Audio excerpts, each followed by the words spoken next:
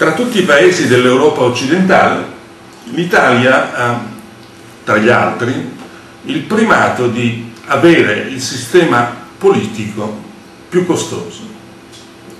Se questo può essere un motivo di vanto, tra tutti i primati negativi che abbiamo, nel senso di essere ultimi per crescita, nel senso di essere ultimi rispetto a quasi tutti i parametri economico-finanziari, finalmente registriamo un primato, un settore nel quale siamo primi. Siamo primi come costo della politica, nel senso che il costo che i politici riversano sui cittadini italiani è immensamente superiore al costo di quasi tutti gli altri paesi europei qualche cifra per, uh, per, capire di cosa stiamo parlando.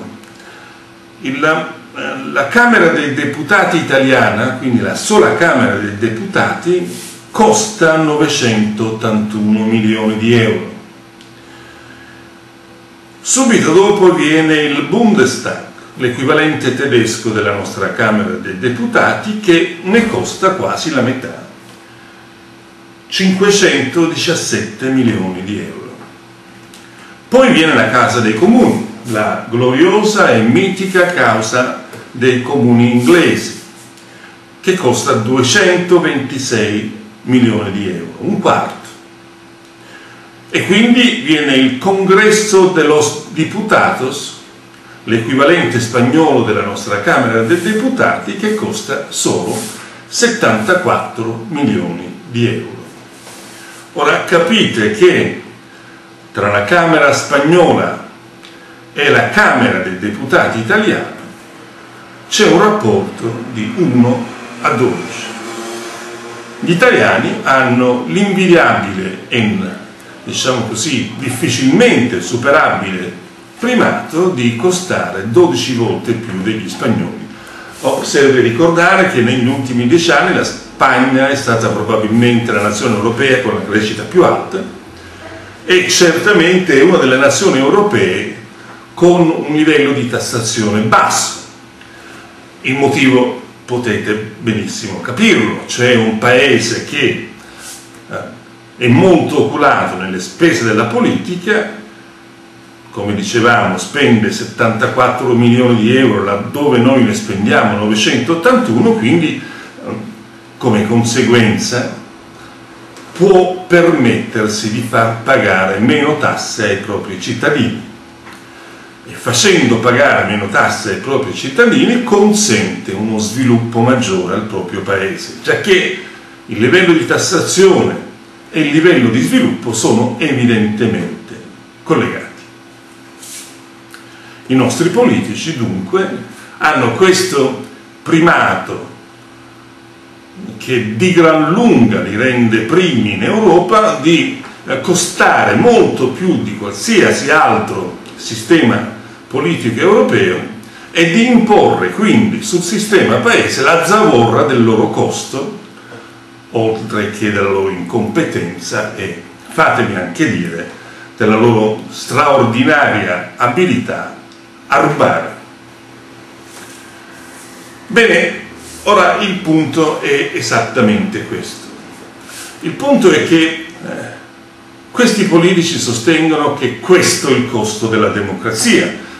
Quando con quell'incredibile faccia tosta si presentano nelle varie trasmissioni eh, intervistati da giornalisti pupazzi che eh, non si permettono mai di fargli domande di una qualche consistenza, ma gli fanno soltanto le domande concordate a cui questi politici rispondono in scioltezza. Quando dunque si presentano in questi salotti dove eh, fanno sfoggio di sé, ci raccontano che questo è il costo della democrazia. Quindi ci vendono addirittura l'idea che dobbiamo rassegnarci a pagare così tanto questo sistema politico perché questo, il costo della democrazia, è diversamente avremmo dei guai maggiori, facendo intuire probabilmente degli scenari apocalittici di, eh, chi lo sa, avventure totalitarie o chissà cos'altro. Ora, è bene che noi subito ci mettiamo una, un punto.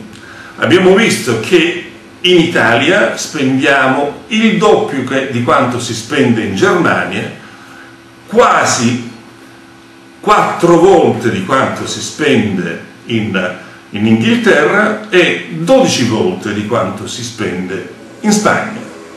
Quindi questo non è il costo della democrazia, già che nessuno potrà contestare il fatto che gli altri paesi, dalla Germania alla Spagna all'Inghilterra, non siano democratici. Il fatto che loro spendano immensamente meno significa che noi paghiamo il costo dell'incapacità e della corruzione dei nostri politici. Questa non è una mia opinione, questa è, diciamo così, una, un, questo è un risultato, una, un risultato concreto dei numeri, delle spese, dei costi di istituzioni paragonabili.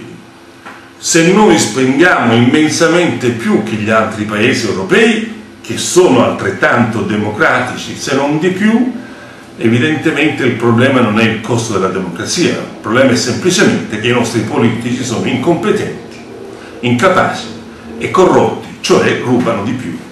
Mi sembra evidente, mi sembra l'unica spiegazione. Ora, capite bene che eh, tutti noi ci facciamo il sangue marcio su questa politica corrotta, su questi politici incompetenti e da almeno vent'anni per non dire di più, eh, non riusciamo a trovare il bandolo della matassa. Ora, mettiamoci in testa una cosa semplicissima ed è bene che ci togliamo dalla testa alcune idee che eh, non, non si leggono, non stanno in cielo e in terra. Cioè, diciamoci subito che con il voto non si cambia nulla. Laddove il nostro voto in qualche maniera osta ostacola i progetti dei politici fanno di tutto per aggirarlo e neutralizzarlo. Abbiamo visto il, il referendum contro il finanziamento pubblico dei partiti, è stato neutralizzato, è stato introdotto un rimborso delle spese elettorali e il risultato finale che adesso gli stessi partiti prendono 10 volte in più di quanto prendevano quando noi eh, abbiamo votato di non finanziare più la politica. Quindi era un voto il nostro, quel referendum, che ostacolava i progetti dei nostri politici, lo hanno tranquillamente disatteso, disinnescando le sue conseguenze. Lo stesso vale per il Ministero e i ministeri che sono stati aboliti nei vari referendum, che sono scomparsi con quel nome sono riapparsi un altro, con un altro nome. Quindi laddove i nostri voti ostacolano la politica vengono tranquillamente aggirati e disattesi. Questa è una prima prova del fatto che il voto non può cambiare.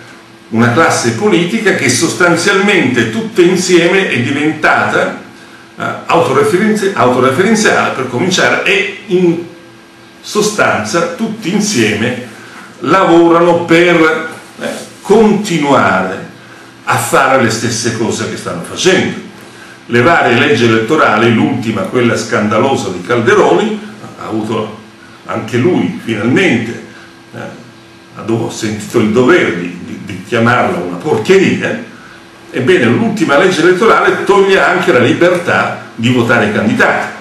Sono i partiti, sono le segreterie dei partiti che scelgono i candidati.